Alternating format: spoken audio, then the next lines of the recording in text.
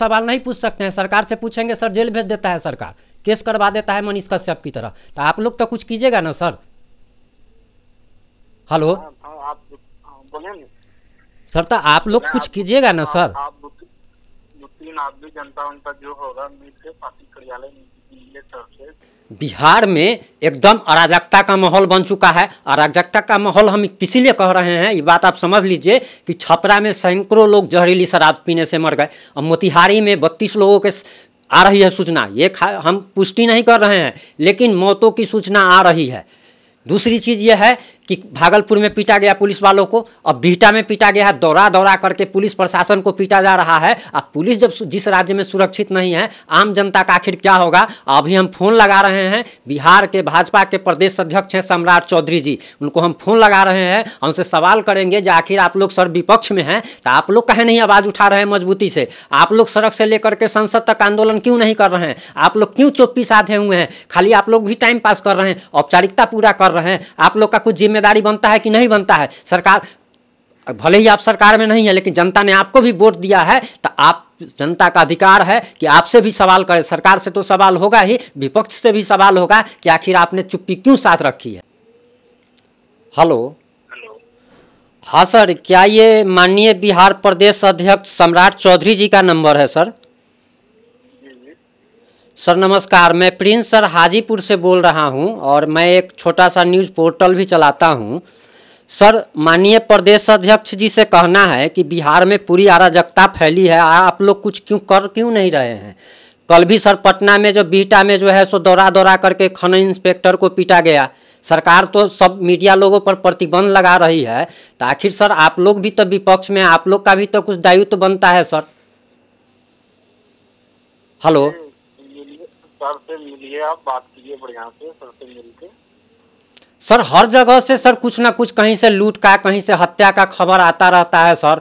और इतना ज़्यादा अब तो सर मीडिया पर भी प्रतिबंध लगा दिया गया है। तो आप लोग कुछ कीजिए सर, निवेदन करते हैं सर हाथ जोड़ करके। आप लोग से ही आशाएँ हैं, क्योंकि अब सरकार से तो आशा एकदम टूट चुका है सर। अब आप ही लोग पर आशा है वोट दिए हैं सर बीजेपी को। हम एक बिहार के नागरिक भी हैं और वोट दिए हैं सर बीजेपी को इसलिए सर हम सरकार से तो सवाल नहीं पूछ सकते हैं सरकार से पूछेंगे सर जेल भेज देता है सरकार। केस करवा देता है मनीष कश्यप की तरह। तो आप लोग तो कुछ कीजिएगा ना सर? हेलो? हाँ, हाँ, आप हाँ, सर तो आप लोग कुछ कीजिएगा ना सर? आप- तीन आदमी जनता उनका जो होगा के पार्टी कार्यालय से जो जो बात बताइए सर को ठीक है। क- सर, मीटिंग नहीं है सर मीटिंग अभी यहाँ नहीं है। जी। बाहर निकला हुआ है। अच्छा तो कब कब तक आ जाएँगे सर? कल- नहीं कल आइए नहीं कल यहीं रहेगा कल सुबह तक में आ जाएगा सर। कल सुबह में सर कितने बजे समय बता दीजिएगा सर तो हम उसी हिसाब से आ जाएँगे सर लोगों को लेकर के। दस बजे टाइम पार्टी कार्यालय जानते हैं? जी जी जी सर। पार्टी का लड़ाई है सर वहीं बैठता है दिन भर बैठता है दस बजे से शाम तक पाँच बजे तक बैठे ठीक है सर। आप उनके पीए बोल रहे हैं सर? हाँ पीए कर तो आपका शुभ नाम सर? शुभ हम पीए भी नहीं बोल रहे हैं ठीक है फ़ोन यहीं का रखा ऑफ़िस में हम बात कर रहे हैं। अच्छा अच्छा हाँ, अभी तो- नहीं सर तो हम कल आएँगे हम मान लीजिए मिलने नहीं दिया जाएगा तो हम बताएँगे ना कि हमारी किसी व्यक्ति से बात हुई थी इसलिए सर आपका नाम पूछ रहे हैं। मानने गए या मिलने के लिए आपको पीए से मिलाएँगे। इसी नंबर पे फ़ोन कीजिएगा नहीं तो कल दस बजे। ठीक है सर। ठीक है सर हम कल आते हैं लेकिन माननीय प्रदेश अध्यक्ष जी तक हमारी बात ज़रूर पहुंचाइएगा सर कि जो अराजकता जो सरकार कर रही है तो सब दिन सरकार थोड़े रहेगा सर ये लोग का? जो लोग तानाशाही पर उतर चुका है पत्रकारों पर सर केस किया जा रहा है। कल आते हैं सर। जी। सर आप लोग विपक्ष में हैं। आप लोग विपक्ष में हैं सर। आप लोग को भी आवाज़ उठाना चाहिए सर। कौन उठाएगा? हम लोग जनता की आवाज़ को कौन कहाँ तक पहुँचाएगा? आप ही लोग पर नाशा है सर। सरकार तो एकदम क्या कर रही है वो सब लोग देख रहा है कि सरकार अब तानाशाही पर उतर गई है। तेजस्वी यादव के साथ जब से नीतीश कुमार गए हैं एकदम सठिया गए हैं। आप सब ठीक है आइए कल खाए एकदम बढ़िया से मिलवाएँगे हम आपको।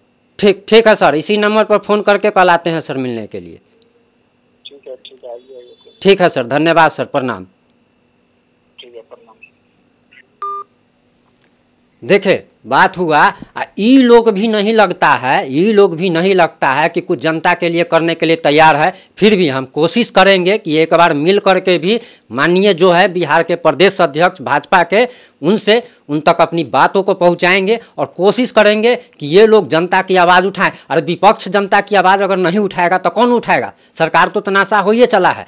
तब विपक्ष की भी ज़िम्मेदारी बनती है कि सरकार जहाँ पर गलती करता है, वहाँ पर आवाज़ उठाए। और नहीं तो भाजपा का भी घोर विरोध किया जाएगा। जुड़े जुड़े रहें हमारे साथ। अगर चैनल पर नए हैं तो चैनल को सब्सक्राइब ज़रूर करें। जय हिंद, जय भारत, जय बिहार।